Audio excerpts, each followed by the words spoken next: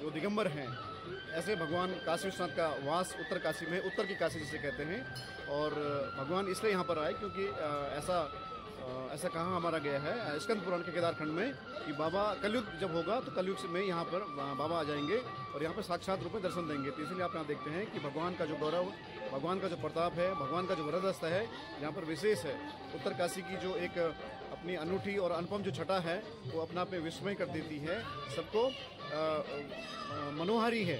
तो इसलिए जो ये दिव्य और जो पुण्य अवसर सावन का महीना है, वो सावन का महीना पूरे साल भर में एक इसलिए माना गया है, इसलिए ये विशेष माना गया है, क्योंकि इस माह की जो जो शुरुआत होती है, श्रवण नक्षत्र से होती है। तो श्रवण नक्षत्र के कारण ही इसको सावन कहा गया है। और दूसरी बात यह है कि भगवान ने जो हलाहल पान किया था, जब देवासुर संग्राम जब हुआ था तो हलाहल जब भगवान ने पिया तो तब उन्होंने अपने कंठ में रखा।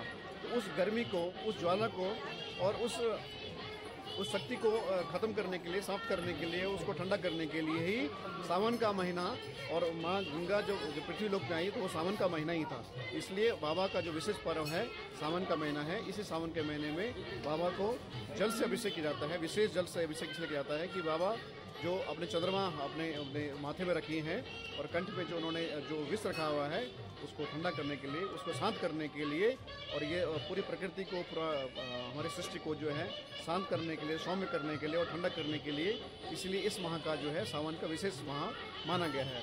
और जो हमारी मृदा होती है, हमारी जो भूमि होती है और हमारी जो मिट्टी होती है, इसी टाइम उसमें अंकुर जो है, वो पुष्पित पल्लवित होता है।